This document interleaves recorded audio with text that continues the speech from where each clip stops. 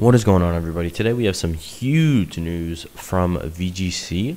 So basically, I'm not going to keep this video long. It's probably going to be two minutes or less. I just want to go over this really quickly so that you guys know what's going on. And I was surprised by this, and a lot of people were, so I just want to make sure you guys know what's going on. So, first off, most importantly, there is a Players' Cup 2 obviously starting. Starts Thursday, September 24th, 8 p.m. Eastern, and it ends Sunday at 8 p.m. Eastern. Now everybody gets 50 battle points, which doesn't really matter. Um, but the biggest deal, first off, it's only open to Masters Division, which is anybody born before 2005.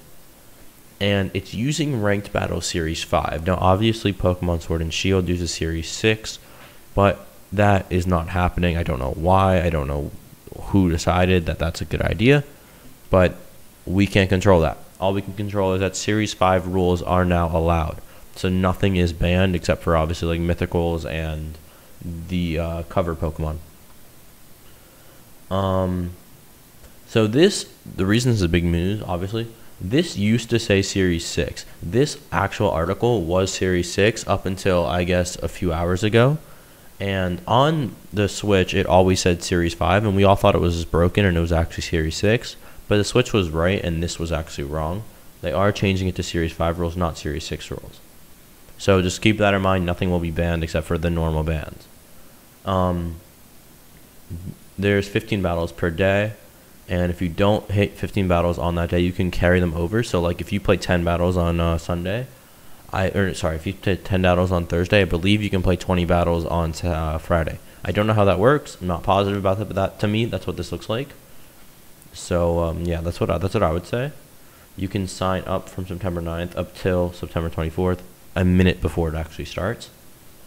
And the way you do it's really simple. You just go to Pokemon Sword and Shield, go to Versus, you select Battle Stadium, it'll connect you online competitions, and you press search, and it will be the first one.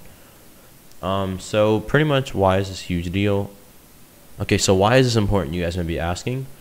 First off, this is why it's important. Incineroar used 43% of teams in Series 5 viable. Togekiss 41% viable, Rillaboom 41% viable. So most teams are going to have the same core that they always have, which is Incineroar, Togekiss, Rillaboom. Tyranitar, Dragapult, Cinderace, Torkoal, Venusaur, and DD female and male, Porygon 2, Excadrill, Whimsicott, and Gyarados are all legal again, meaning Hatterene and DD going to be very common again. Okay, all these strategies that Mimikyu is also viable and Magnezone is viable. Not that there's so much use in doubles, but they are allowed. There's no bans except for the normal mythicals. So expect Incineroar on every team, Togekiss on every team, and Rillaboom on every team, just like they pretty much were last series. This is a big deal because you can no longer practice. You can't practice on the Switch because on the Switch it's Series 6. You can't use these Mons. You can only practice on Showdown in VGC 2020. So just keep that in mind if you want to practice. Go to Pokemon Showdown and practice there that's pretty much all the big news. I my channel has some news coming up, but I'll save that. Just keep that. Just know that I did a draft. I'll be doing an analysis over it, and I have my first game soon, and I will be streaming all my Players Cup games. So yeah, I'm sorry that I have such a short video, but I will be streaming later, building a team. So if you guys want to swing by, help me, or I can help some of you guys build the team, whatever. Yeah, I'll see you guys. Make sure you like the video, comment, and subscribe. I'll see you guys in the next one. Peace.